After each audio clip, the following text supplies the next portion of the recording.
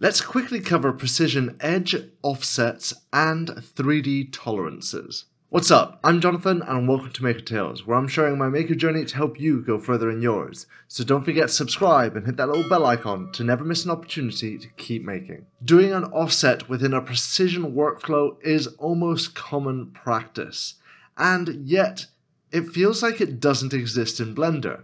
Well, I'm here to show you that it does. One is an add-on and one is a modifier. So offsets within a CAD workflow are extremely used because this lets us compensate for things such as laser kerf or for the shrinkage or expanding of a 3D print. So let me go about showing you how to do this. So let's say we're wanting to create a stand for this weird shape. So let's go ahead and create just a little base model here. So we're just going to get a plane. We're going to go into edit mode of that plane there make sure I just have, oh, I was already in edit mode, excuse me. So let me delete that. Actually, no, I'll just pop that out, selection. And now let's go into edit mode, select that plane. Let's scale it up a bit. Let's now move it so it's there. And I'm just going to bring it up because what I'm going to be doing here is basically doing a copy of this, pasting this down, and then I want to make sure that this plane is up where it's completely solid, so to speak. So that's a good point there. And now I'm going to do my shift and click there and control shift minus.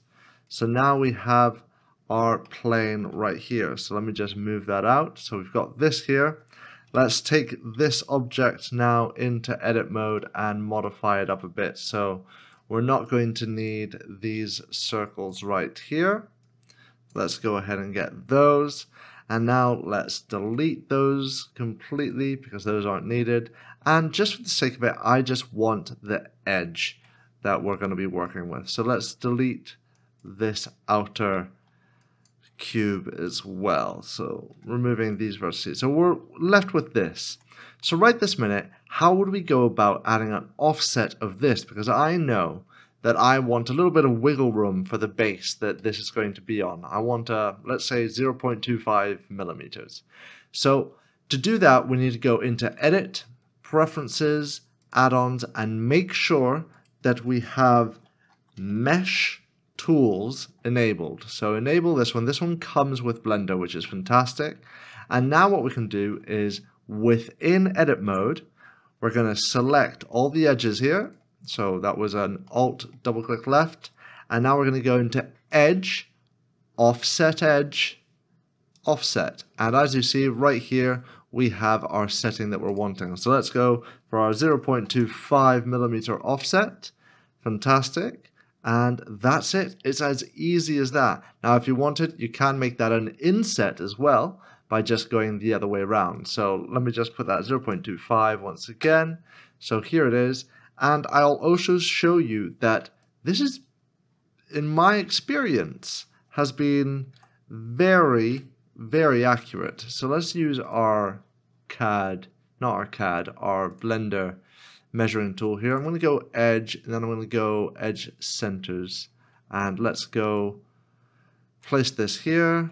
Let's grab this and bring it down. And look at that, 0.25. So in my experience, this offset has been extremely powerful and this works brilliantly for laser cutting files because that right there, well, you've just been given an offset. So if you're wanting to offset an item or a model really easily, it's that way. Now that I've shown you how to do some really accurate edge offsets, let me show you how to do tolerances and offsets with 3D objects. I'm also going to show you how to create the object for the offset just in case you have a weird situation that you don't have the object itself. This is very similar to one of the videos that we've already covered when we were doing the boolean cutout. So let's go ahead and do that. Let's go here into the edit mode. Let's go into face selection. Here's a new little shortcut which is the alt and clicking on a face which will give you loop face selection. Now if you do shift D to duplicate it, we'll constrain it on the Y, and now we're going to do P for parting, the selection out of that object, go back into object mode, go into edit mode of this object. Now we're going to go into edge mode, select this edge, shift select that edge over there, and hit F. Now what's the thing that we've got to double check here? That would be the normals. So now if I go here, back into object mode, and use my quick menu to do face orientation. Remember that the face orientation is here in the overlays and if you want that shortcut you right click it to create it into the quick menu which is the Q menu. So face orientation, yep the normals are flipped so how do we go about fixing that? Well we go into edit mode, select it all and we're going to do shift N for the shortcut of recalculate normals. And now when we go and check that it's going to be Fine. So how would we go about offsetting this to make it smaller?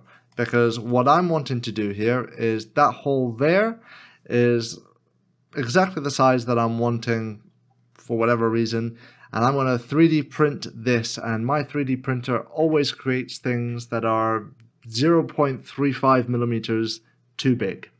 So yeah, we're working on a very small scale here, but still it applies. So the way to do this is I use the solidify. Now what solidify does, I'm going to change the offset to 1 and now when I increase the thickness you'll see that the object gets bigger.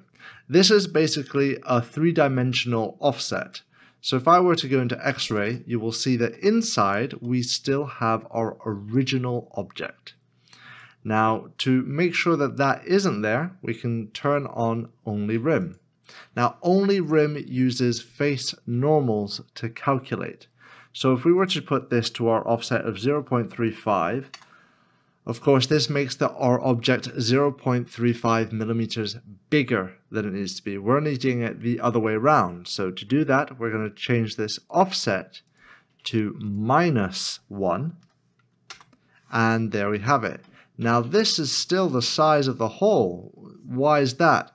That is because our only rim is calculated via the normal. So we have to flip the normals because what we're wanting is what was inside the normal. So flipping the normals, there is what we're wanting.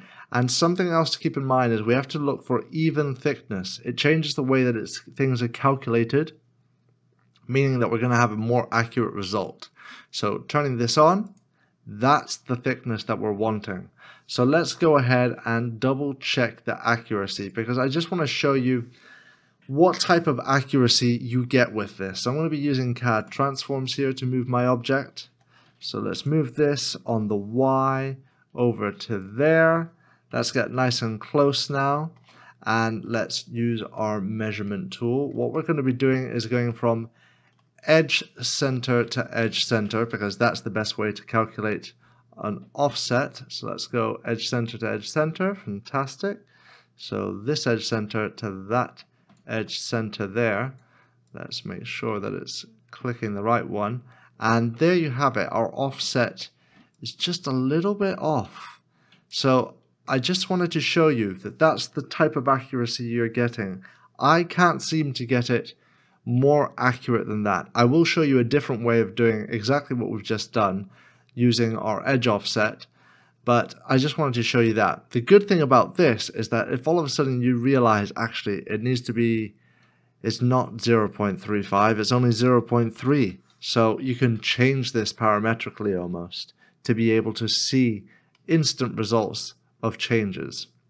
Now the way that I would do this Alternatively, to get perfectly what I'm wanting, is I would do this. I would go into my object, I would select the hole that I'm wanting to fit into. I would duplicate this, move it in the Y so I only have the edge that I'm wanting. Then I would pop out that selection. Going back here into my edit mode, I would then select that once again and use our edge offset edge right there. I already have this set to minus 0.35. Fantastic.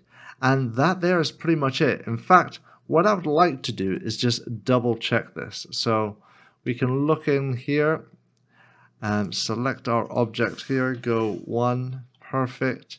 And now we will use our measuring tool once again, going from the face center, sorry, edge center to that edge center over there. And you can see that we're exactly 0.35. So now if we use our new edge here, we know we're getting exactly what we're wanting. So let's delete this edge, select this edge, F, go into faces. Now let's extrude this out. Fantastic. There it is. And now we've got to double check because you never know. Oops. We never know what's going on with our normals. There they are. So let's make sure that these normals are flipped correctly. So A, Shift N, fantastic. Double check that, brilliant. And let's just double check this once again. So let's go into our CAD movement, G, this edge on the Y to there. Get nice and close up once again. Oops, uh, that's not going to get me nice and close. And then here, let's go ahead and do our measurement. So let's make sure that we're getting the right place. So there to there, there you have it, 0.35. So that's exactly the size we're wanting. I just wanted to show you all the ways of doing offsets in case absolute millimeter accuracy is what you're needing. And that's how I would go about doing it if I needed pure accuracy. And usually especially when I'm doing laser cutting, I'm needing 0.01 margin of error. And that there is edge offsets and three-dimensional tolerances within Blender. We're getting to a point where we're very close to have set the very foundations of precision modeling in Blender, and quite frankly, from here on out, I'm just going to tidy up a couple of loose ends, we're going to finish this off and then we're going to do some practical examples and then go into some really advanced use cases. And of course, a huge thank you to my patrons. You're all awesome and I appreciate it so much. And if you're enjoying this series and you think I'm worthy of your support, I would love to see you there too. Thanks for watching, keep making, and let the quest continue.